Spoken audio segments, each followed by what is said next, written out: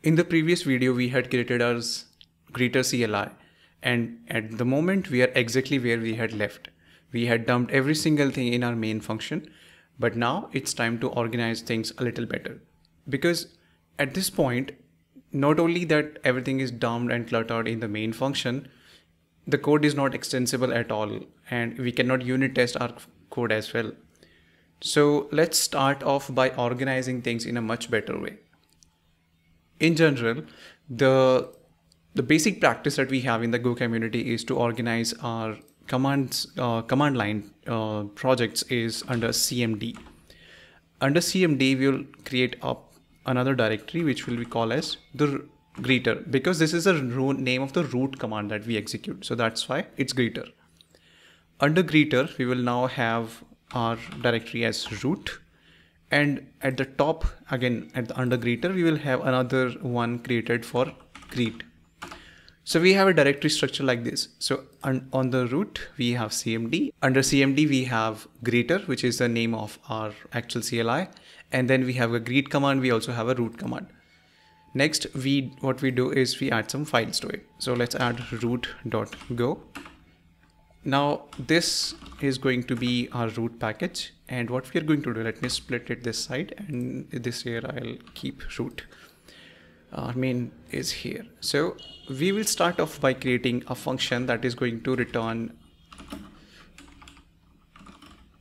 our root command. So let's name it as root command. And this is going to return me a pointer to cobra dot command Now we can simply dump our root command from here to this side. Let's add, let's create cmd and this is our root command. We will revisit this in just a minute. So let's return cmd. This is our root command which will be executed by the main function. We will revisit it, but in just a moment. At this point let's comment this out or maybe we can remove it as well but let's keep it. The next thing that we need to do is under greet we will create similar to root. We will create greet.go which is going to be under greet package.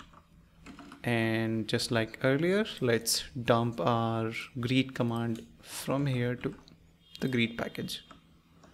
Again another function which is going to return a pointer to cobra dot command.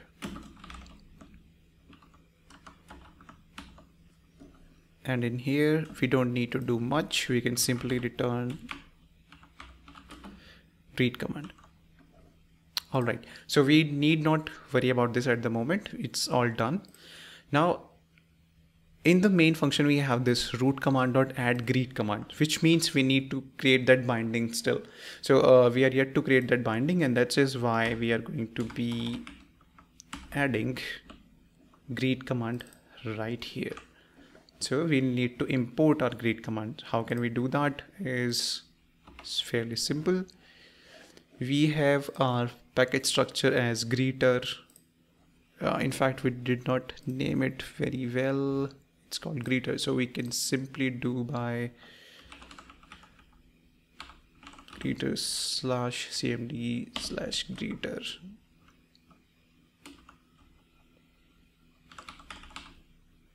And in here we should be able to get greet dot greet command.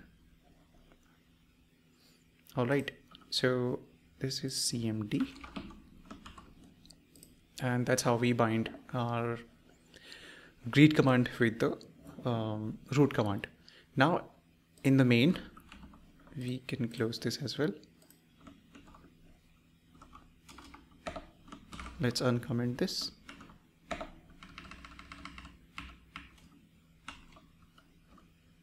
What we can now do is we have root package, which will give us the root command and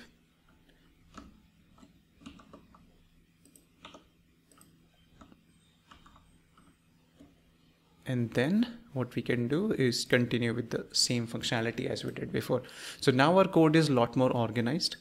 We have can minimize the open editor and if you look at the structure we have greeter we have got uh, greet package separately we have a root and if you were to add more sub commands to it we will have another directory in where we will just create uh, this structure as in uh, where we will have this uh, another sub subdirectory created for another sub command and we will just add that sub command to root as we did for greet just like this.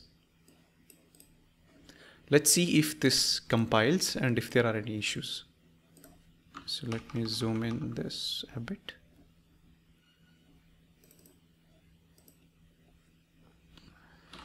we will run go mod tidy so that our packages are discovered properly and organized. Go mod will be updated. Go package will be updated as well.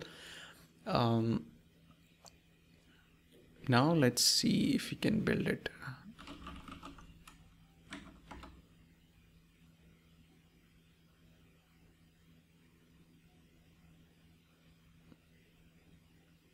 All right we can build it.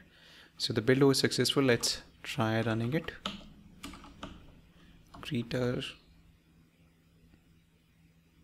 and we still get our output. And let's also run the greet command help which is cool. And if you were to greet let's say we want to greet Mike. Hello Mike. So our command is still working. There is no issues with the command.